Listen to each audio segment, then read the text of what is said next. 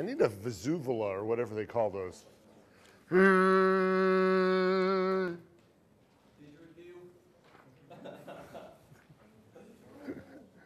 what are the what are the things from, from World Cup and from the World Cup in South Africa? Huh? Vuvuzela, is that how you pronounce it? I have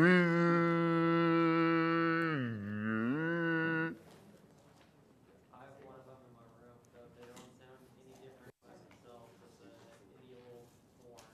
As, than any old horn? But they're cheaper than any old horn. Yeah, because it's just a piece of cheap plastic. And it would be easier on my voice. Are we filming? so nice of you to tell us. Hello, America. I'm not sure what you've been watching so far, but uh, the camera is has been on. So I have absolutely no idea. How's that sound through the microphone? Probably just as ugly as it does for, you know, just as. is. Ah. Are we ready? What are you ready for? JJ, what are you ready for? Test review. Test. When's it, when's the test? Next Thursday. Thursday? Next. How was the music though? But you were in the room, were you? Yeah, I saw you. But I mean, I don't know if I should say, hey, you want to come to class? oh, I do that all the time. Oh, heavens. So what's going on next? What, what's going on next class period? No class. Miss Videographer? That should already be, is that on your syllabus? No class? So we don't want her to walk all the way across campus lugging all this heavy equipment when she doesn't have to. Just because I'm a nice guy. Actually, normally, uh, very often, or actually, this is my sixth fall semester at the University of Central Missouri, and four of my six fall, six fall semesters, I've gone to the uh, Institute of Management Accountants Student Leadership Conference with students from the Accounting Students Association.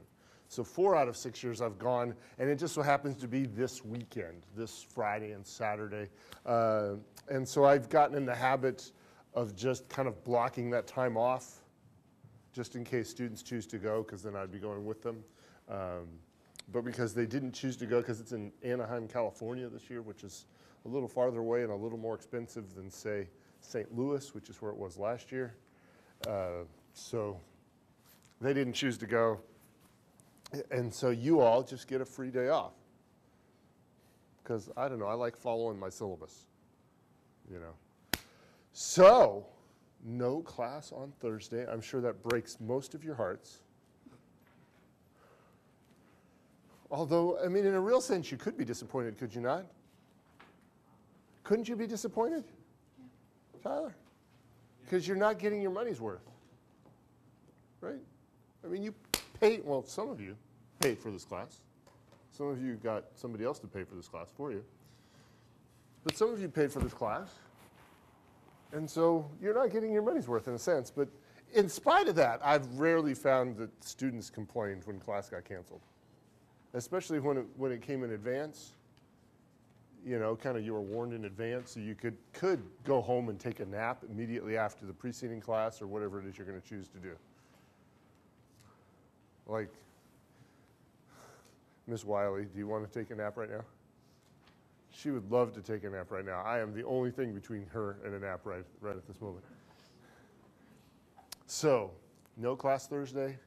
On Tuesday, then, is your next opportunity to do what? Yeah. Right? Show off? Because I've done air guitar, I think, every time I've talked about showing off. I'm sure it looks really hideous on camera, and so that's why I don't watch that. But uh, then why do you do it, Dr. Fessler? You might ask. Because you all get to watch it, and you know, maybe that maybe you find it encouraging. How in the world is a professor supposed to motivate a student to do good in the class? Can a professor motivate a student to do good in the class? Really? Not really. Although, is it something that students, well, you know, sometimes I feel like that's an expectation of professors, is that we're supposed to motivate you to do good, right? And motivate you to learn. But really, can I motivate you to learn? How do I motivate you to learn, Matt?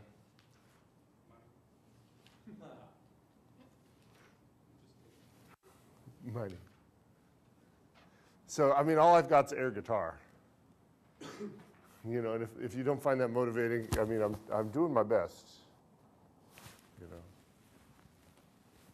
it's not as much fun as playing real guitar, but and doesn't doesn't sound as cool either. So, show off, please, and really, in many respects, we've covered fairly. It's been fairly easy material since the last test, has it not?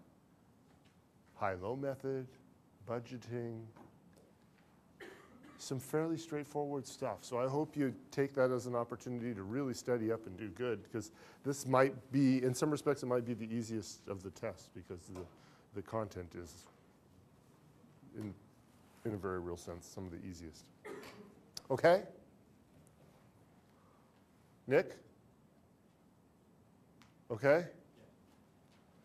Tony! Welcome. If any of Tony's family is watching, he is now officially here, and you know he was here. He didn't skip class today. Oof, you see, you folks are such a rough crowd at this time of day.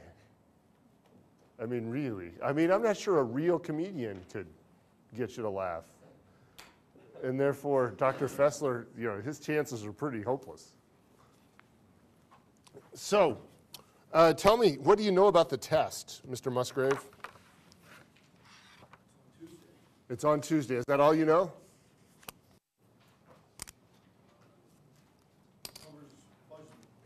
Is that all it covers? Check out your syllabus. What's it say?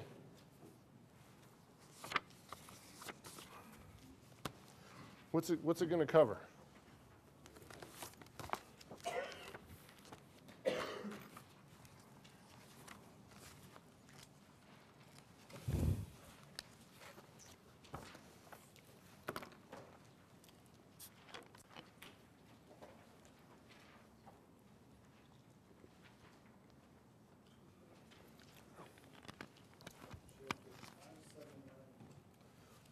Chapters what? 579 and 5A. Right? 5, 5A, 7, and 9. And so, what is that really doesn't mean a whole lot to me, though. I mean, chap, when you say chapter 5, it does not ring any bells. Anthony! Which I welcome. And now, if Anthony's family is watching this video, they all know that now that Anthony came to class today. And I'm sorry I had to do that because I just did it two minutes ago for the, for the gentleman who just preceded you into class. It is very good to see you, sir.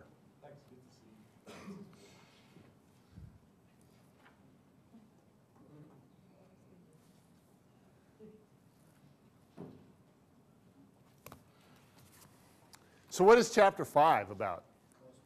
Cost behavior. What's the, what's the other chapter that we're supposed to be studying, Ashton? Um, Regression analysis using Microsoft. Excel. Anthony's probably not looking, are you looking at the syllabus yet?